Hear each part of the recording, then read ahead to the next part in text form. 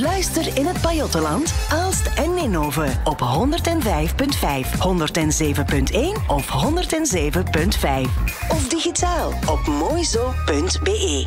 In 18 hebben we ook kampioenschap van België uh, nieuwelingen gegeven.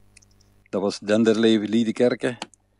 En dan hebben we nog een keer kampioenschap van België voor aspiranten gegeven ook. Dat is een ambitie van het bestuur uit voor toch meer kampioenschappen van België voor jeugd te geven. Het is al de vijftigste uitgave zeker. We hebben al beroepsrennerskoersen gegeven in het verleden, maar we hebben ook al de Beker van België gegeven, de Ronde van Brabant, Vlaams-Brabant. We hebben uh, interclubs gegeven, ja, we hebben van alles al gedaan, maar wij komen tot de conclusie dat man met de jeugd toch altijd meer plezier eraan hebben. Dat er ook meer, meer eh, supporters komen zien, en dat, dat de vaders, de grootouders, uh, dat er meer ambiance is op de koers. En nu is dat uh, kampioenschap van België voor nieuwelingen.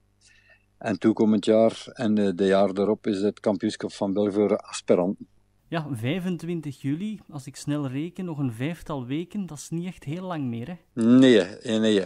Maar ik weet dat ook nog maar een, een tiental dagen, omdat in Liedekerk echt doorgaat. Allee, dat, met die corona had ik het in principe al op, op de zijkant gestoven. Wij zijn er normaal een gans jaar mee bezig. Alleen ben ik dan toch nog uh, tot een goede overeenkomst gekomen met de Belgische Wielerbond, dat man dat nu toch over onze kop gaan trekken. je zei daar net zelf al, als je geteld hebt, de 50ste editie van de Liedekerkse Pijl. Het zou een feest moeten worden? Wij hopen dat het dat een feest is en dat de mensen eindelijk een keer mogen feesten en dat ze mogen buiten komen. En als het weer mee wilt, dan ben ik bijna zeker dat dat geslaagd gaat zijn. Omdat men in verleden dat toch ook hebben en dat men toch uh, een massa volk uh, gaat hebben. Met de aspiranten was het nog, nog een stuk meer. Maar hadden toch uh, met de nieuwelingen toch zeker meer dan 2000 toeschouwers. Dus ja, Allee, dat brengt toch iets, iets samen. De start en de aankomstplaats, Marcel, is die al gekend? Dat ga ik normaal ga ik definitief beslist wordt dinsdag. Het is ofwel Liedekerke of in Pamel. Oké, heb je al zicht op welke teams aan de start komen? Gaan er ook regioploegen in zitten met streekrenners? Sowieso, dat zijn selecties van de, van de provincies. Dus de provincie maakt de selecties op, dat is niet met teams. En uh, je moet toch rekenen, al ja, 130 per categorie, en zijn drie categorieën. Bij de meisjes, uh, nieuwelingen, is dat iets minder. Bij de nieuwelingen was dat toch wel altijd 100, 130, 135 per categorie. Dus klappen we toch over rap 300 renners dat aan de start gaan staan. Het is niet dat er clubs of, of zo kunnen inschrijven. Het zijn de renners zelf die moeten inschrijven. Jullie hebben ook al gepraat met de buren van Denderleeuw en Roosdaal, heb ik begrepen. Ja, met Denderleeuw uh, daar heb ik veel gepraat voor uh, toekomend jaar en binnen twee jaar.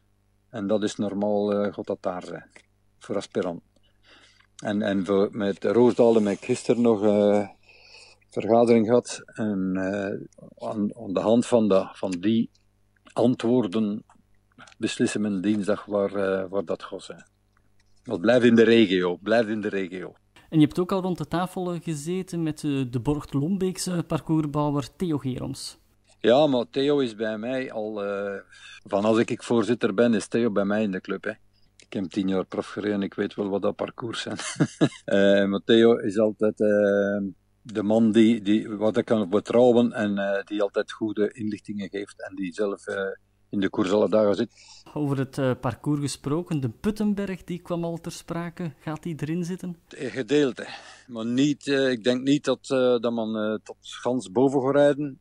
ik denk dat man de Wolvenstraat gaat rijden. En dan naar de Puttenberg en dan richting Liedekerk uit. Het wordt een drukke dag. Eerst, ja, je zei het daarnet al, rijden de meisjes. Eerst zijn de meisjes, ik denk dat dat om 10 uur 30 ongeveer is. En dan, dan zijn er nog twee categorieën van eerste en tweedejaars. En uh, die rijden afhankelijk. De eerste, eerstejaars, ik denk dat dat 65 tot 67 kilometer is. De tweedejaars, dat is rond de 75 kilometer. En de laatste vertrekken om 4 uur, denk ik. Zaterdag 24 juli, dan hebben jullie een interclub voor junioren. Daar gaan uh, rond de 25 ploegen aan de start staan. Dat zijn allemaal ploegen die gesponsord zijn van Vermark, kleding Vermark. want dat is een samenspraak, al in samenwerking met uh, een Brabantse Wielerbond. Dat is een, ronde dat ze geven van drie dagen en wij geven de zaterdag.